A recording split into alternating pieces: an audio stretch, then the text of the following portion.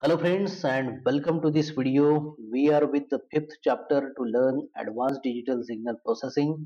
Here the chapter is titled linear prediction and optimum linear filters here. So this has been the 14th video and so far we have gone through the various topics as like right from the representation of the stationary random processes, understanding the rational power spectra, the relationship between the filter parameters with the autocorrelation sequence, the very important forward linear prediction and the reverse that it is backward linear prediction. Now after going through the AR lattice structure along with the lattice ladder filters for the ARMA processes here in the previous topic we started a discussion related to the optimumness while designing this type of the filters and this is with respect to the Wiener type of the filter. So Wiener filters for prediction and filtering we have seen here. In continuation to the details thereupon we discuss we have the first type of the Wiener filter that is finite impulse response hence the topic is titled FIR Wiener filter. So let us start with this particular topic to see the details of finite impulse response Wiener filter from the prediction and optimumness point of view. So let us begin with the topic.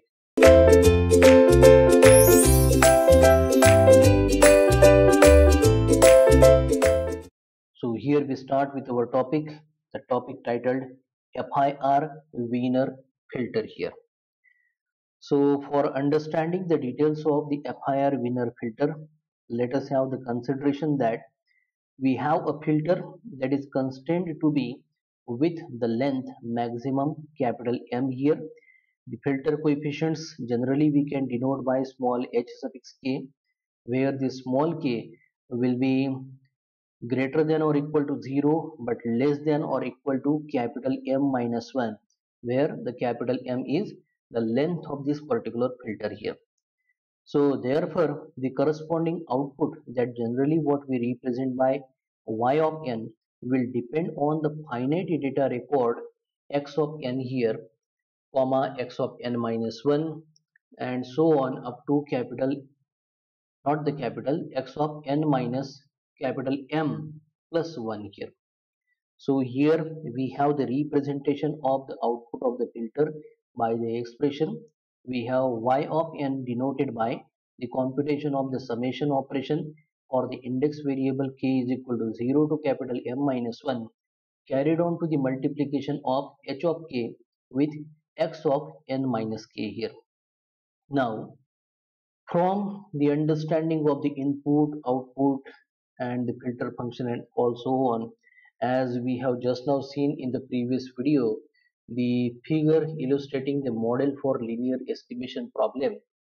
So we are required to see the mean square value of the error between the desired output. Desired output can be d of n and the y of n that we have in the current expression here. See this can be denoted by this particular Greek symbol zeta suffix capital M that will be equal to capital E of mod square of the error e of n in the small casing here.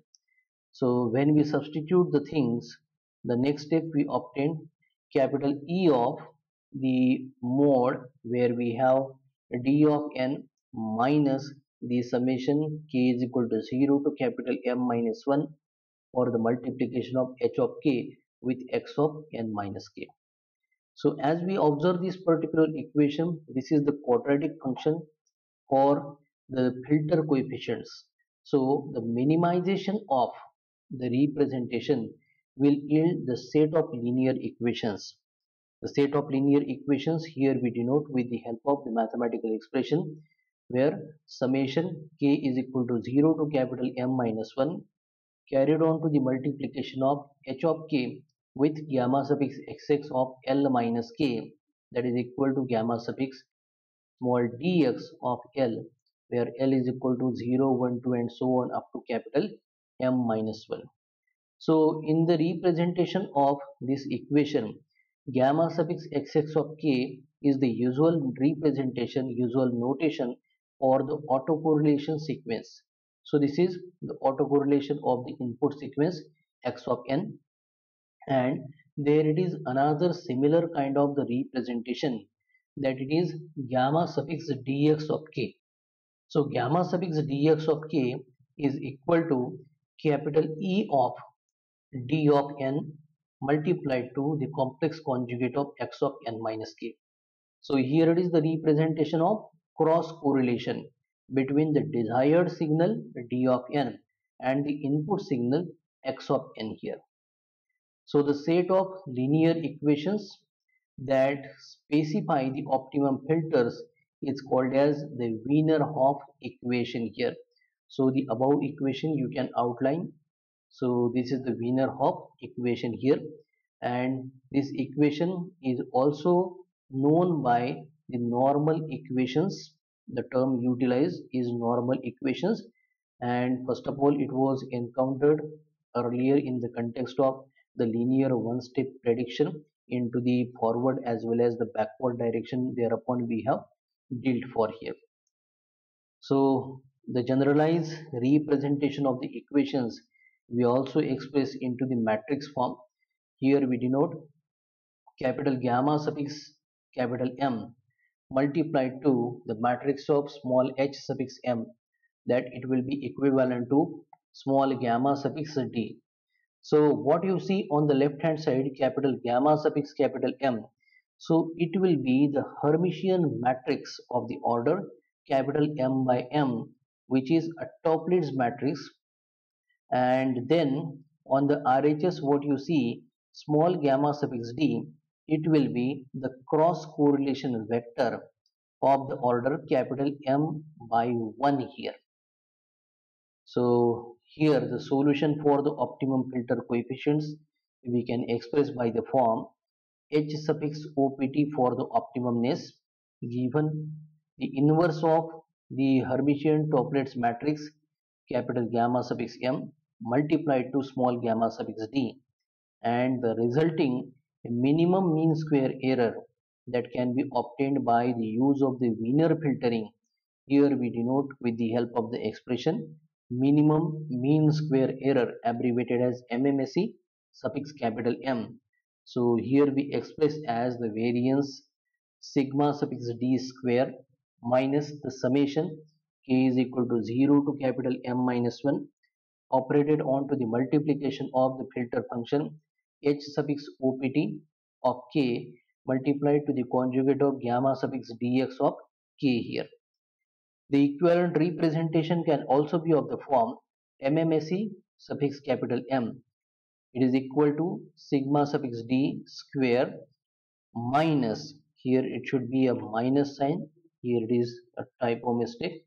So in between the sigma suffix d square and the small gamma suffix d which is conjugate in multiplication to small t further capital gamma suffix m is inversed here and finally multiplied to small gamma suffix d here where this uh, sigma suffix d square is equal to the e of the estimate of the mod square d of n. So this is what the expression here. Now let us have the consideration of some of the special cases where we are dealing with the filtering the d of n which is equal to s of n. And furthermore if s of n and w of n are uncorrelated random sequences as is the usual case we have the expressions denoting gamma suffix xx of k is equal to gamma suffix ss of k added by gamma suffix ww of k here. So this should not be xx this should be small ss here. So this is for the desired signal here the intended signal to be received here. Whereas it is added with the noise content the interference content. So here it is denoted by w here the addition of the two is the input signal what we obtained so the same relation is there between the autocorrelation sequence of the components and the complete input signal here. Next to that, the cross correlation sequence can be denoted by gamma suffix dx of k is equal to gamma suffix ss of k here. So therefore the normal equation that we have shown earlier will take the modified form. Here we have it summation k is equal to 0 to capital M minus 1 or h of k multiplied to the set where there it is addition of gamma suffix ss of L minus k added by gamma suffix ww of L minus k. So this is equal to gamma suffix ss of L for small l is equal to 0, 1, 2 and so on up to capital M minus 1 here. Now if we are dealing with the prediction case, so that time the d of n sequence will be equal to s of n plus d where d is greater than 0 the cases we have already dealt in the previous video the three cases to distinguish the things.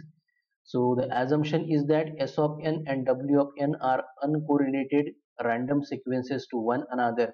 So that time we have the relation the gamma suffix dx of k is equal to gamma suffix ss of l plus d here the equations for the Wiener prediction filter can be shown by the mathematical expression. So this is the final expression for this particular topic.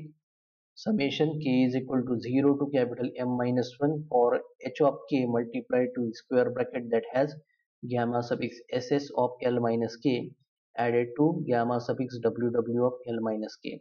So this is equal to gamma suffix ss of L plus d where L is equal to 0, 1, 2 and so on up to capital M minus 1 here. So all the three cases that we have seen in the previous topic, here the correlation matrix is to be inverted and that it will be the Toeplitz matrix here. So hence generalized uh, way we have the Levinson-Durbin algorithm that already we have seen in one of our previous lecture that it was the eighth lecture from the same chapter here.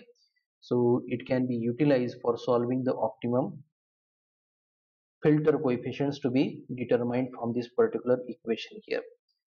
So here we stop the discussion for the FIR Wiener filter here. By the next lecture we shall be addressing the orthogonality as a principle into the linear mean square estimation process here from the same chapter linear prediction and optimum linear filters. Thank you.